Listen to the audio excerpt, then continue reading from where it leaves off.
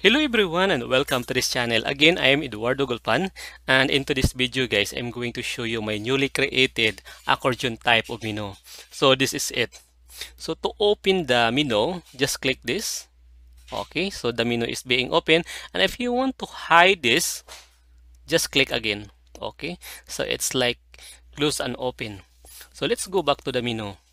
As you observe guys, there's a double greater than sign meaning to say there are sub buttons so for example this one the products there are three sub buttons and how about the customer? Okay there are three sub buttons also.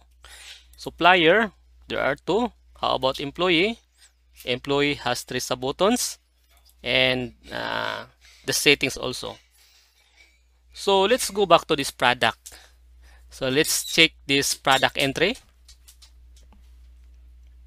when we click this okay so this is the sample entry form of the product. How about the customer? Let's click this customer info.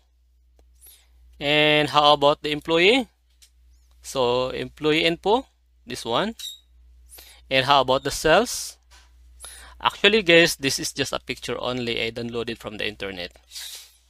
And settings so there's no code. I didn't put a code here so that's it guys. And actually I have a plan to create a tutorial video on how to create an accordion type of menu but it takes a lot of time. That's why I decided to upload this so that you can also uh, get a copy of this pre-template. So if you want to get a pre-copy of this template guys just click the link uh, below the description of this video.